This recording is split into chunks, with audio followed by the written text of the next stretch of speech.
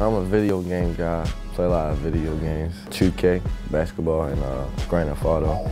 Who's your team in 2K? Uh, Golden State.